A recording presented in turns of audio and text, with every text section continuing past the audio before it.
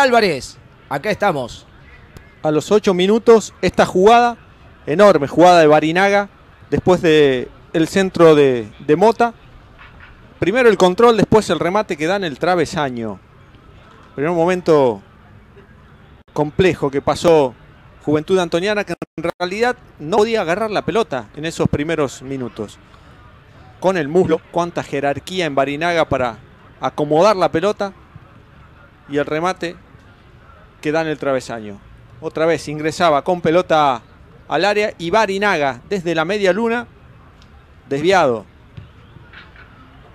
Jugaba muy fácil Guaraní, le hacía mucho daño este centro que increíblemente el goleador del elenco misionero cabecea al revés. ¿eh? Se anticipa la jugada y termina saliendo la pelota para, para otro lado. Una falla de cálculo notable. Y vamos a ver la primera llegada importante de Juventud en el partido que termina en el gol. Facundo Velasco y un zurdazo que, conociéndolo, buscaba la red. Pero tiene ese primer desvío, acá el taco de Martín Esparza y como último hombre, Gustavo Bombach solamente para empujar la pelota.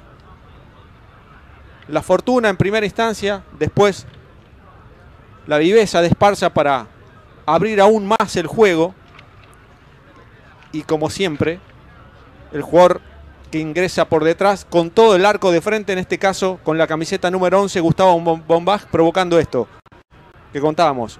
La locura en la tribuna de los hinchas de juventud, los abrazos y el festejo. Por ese gol, Juventud Antoniana está un poquito más cerca del torneo Federal A, un partido para una serie de Netflix, la de Bombach, que tuvo un intercambio de palabras con el técnico